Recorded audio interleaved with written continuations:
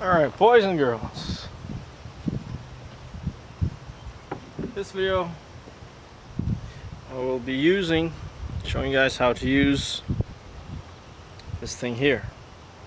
An original Lisle cylinder ridge reamer. This is as old as the motor and this is what they would have used back then. Made in USA, Clarinda. Uh, and this here is much better than any any modern uh, ridge reamer. They're all garbage. This here is a very very heavy duty industrial machine. As you can see it's got rollers here which is something that uh, most mo modern ridge reamers don't have. They're actually just rubbing against the cylinder walls which I don't like. It's all cast iron construction so it will not uh, very thick, very heavy.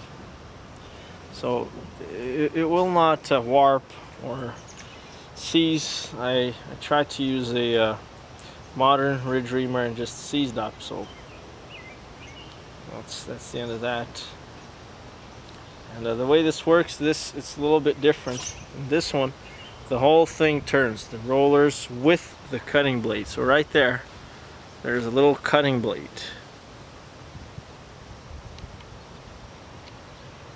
Right there. No. And it's pretty simple. You just set the depth here.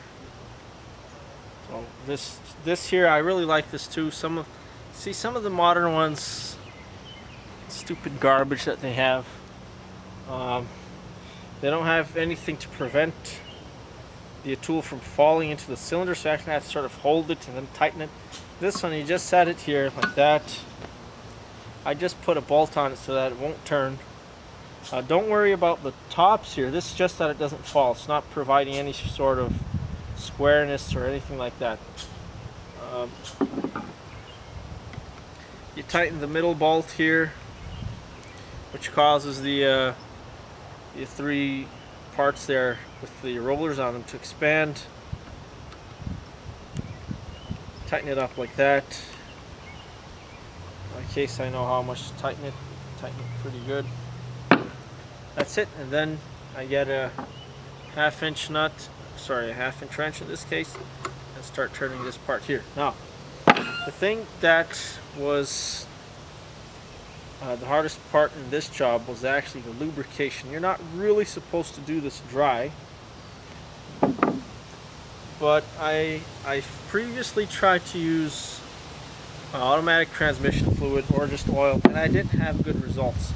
It kept uh, either seizing up at some point and then taking off big chunks.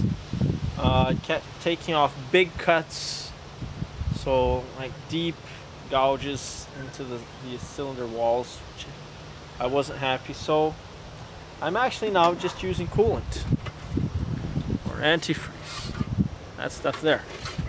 And I couldn't really find, see this is a pretty old tool so um, I couldn't really find what exactly uh, is suitable for lubricating this. I've seen some people using WD-40 but that's expensive and I don't have here.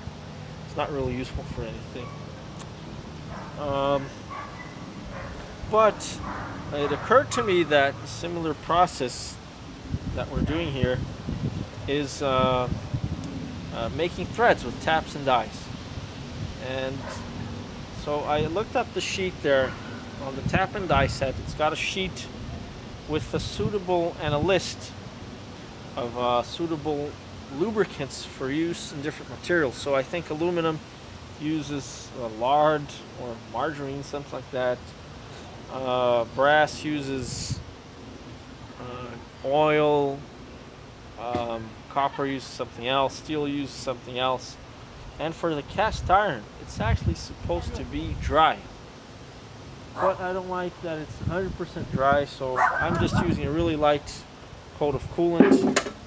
And it just seems to work much better. It's actually very smooth. Uh, I can't tell the difference, uh, barely tell the difference between the hone cylinder wall and the uh, part that I ridge reamed. I've already taken off the ridge from these pistons here. And I'm going to leave these two in the middle with the ridges just to see what happens. I know it's against better judgment, which you should technically remove the ridges, but I just, there's not a lot of ridge. I just want to see if there's going to be any problem. So I won't even try to get the camera to zoom into the, uh, so you guys can see the cut, but uh, I don't think there's any other videos of people using this kind of ridge ring. I actually got it from eBay. Just got here today and uh, I don't see how it could be any better. Maybe if you had, I, would actually like it to have one more or maybe three cutters. Maybe two more cutters. Three in total. That would make things uh, pretty nice as well. So it's already tightened up by hand. Just throw in some coolant.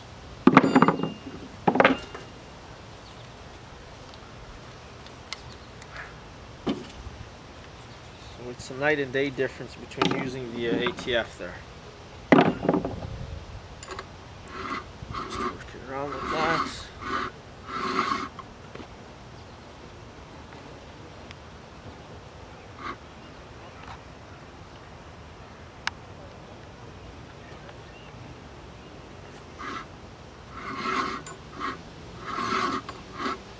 gotta hear that sound. The first time that I actually ridge reamed anything, any engine, but the sound is very different than when I was trying to use the ATF.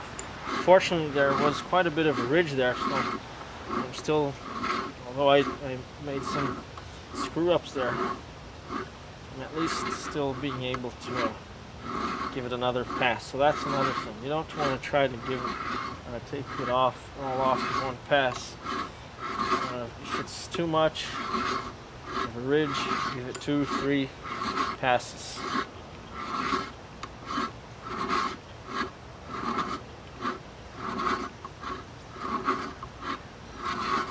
And it's pretty much that.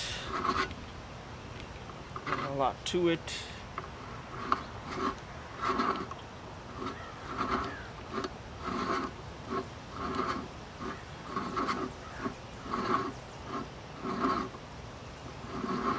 That's pretty much it. So use water or coolant. And, uh, don't use any uh, heavy oils like engine oil or whatever. Remember to uh, clean off the, uh, I like to clean off the blade and let's clean off the blade here uh, on every pass.